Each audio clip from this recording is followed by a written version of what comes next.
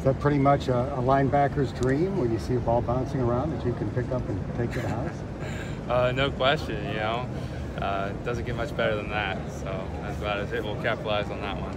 How much nerves hit when that ball's bouncing though? You got you got to make sure you snatch it. Oh yeah, you gotta make sure you can get down there and scoop it up and don't fall over your feet. So a little of that may go in the back of your head, but you just you just gotta go. Can't think about it. Coach said he tried to make it feel a little bit like an actual game day in terms of travel and warm. Did it feel that way today before the scrimmage? Yeah, yeah, I think he did a great job of doing that.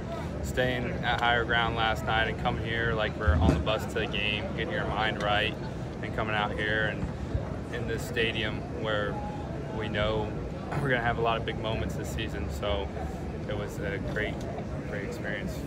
It's got to be tough splitting time, but with Deshawn. But did that really play a factor in keeping you two fresh all the way through the season? Because you combined for almost 160 tackles between you, which is crazy. Yeah, most definitely. I think that I mean worked out really well for us last season. I mean, we'd be able to rotate every other series, or a series gets long, we can sub in and out for each other, and just when you have fresh legs in there, you're able to make some plays that you may not have the extra oomph for, you know, when you've been in there for eight plays in a row. So I think that worked out real well for us. Guys tackled today. There's a lot of plays. Don't necessarily do that all that often anymore. How did that help you at this stage of camp? I think it's good just to, you know, we're going thud tempo all of during camp and to make it feel like the real thing. So you know how to drive for five and run through a tackle and feel good sometimes. You feel like the defense has a little bit of an edge over the offense through the first week or so? Uh, I don't know if I'd call it an edge, you know. Uh, defense is playing good. Offense makes plays too. They've caught some stuff on us in the corner of the end zones or break a run here and there. So I think it's been a pretty good battle in between, a lot of good on good. Could you just talk uh, your relationship with the guys in the locker room, and that linebacker room, especially bringing in a guy like Ivan? What does that do for this uh, linebacker room? Yeah, I think it, it does nothing but lift us up even more. You know, we got a bunch of great guys in there, and a bunch of guys that are going to be able to play and rotate in this season, I believe. So adding him is just only bettering us. It's nice to have somebody to kind of bully Deshawn a little bit.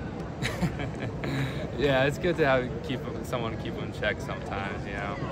How much improvement has, have you seen from Jaheim?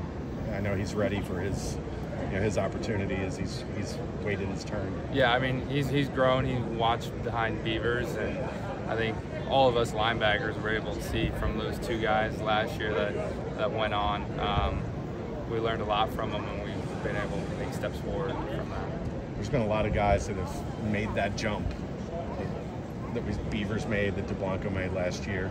Is that you put that upon yourself to, you know, it's, it's my time to make that big jump and turn myself into an NFL type guy? I mean, one can only hope, you know, you, you can only work your butt off at practice and do everything you can do. And if the stars align, the stars align. That'd be, I mean, that'd truly be amazing. But, you know, I'm just focused on this year and what I can do for this team. Thanks, Ty. Thanks, Todd. Thanks, Todd.